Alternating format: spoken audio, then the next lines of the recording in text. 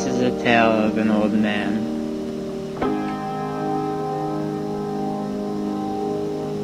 He wasn't always so old, though.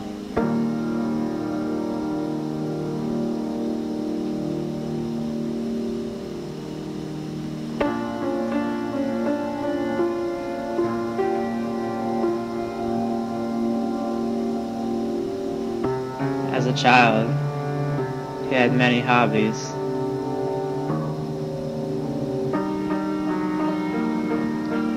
Like bird watching.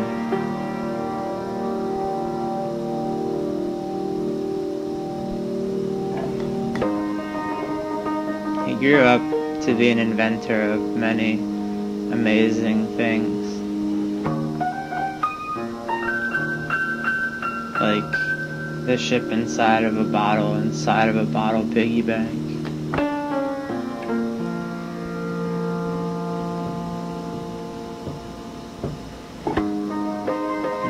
Pocket watch yo-yo.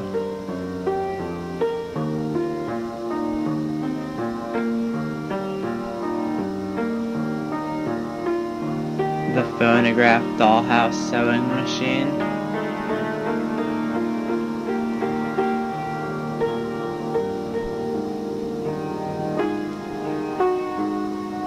and my personal favorite, the grandfather clock piano lamp.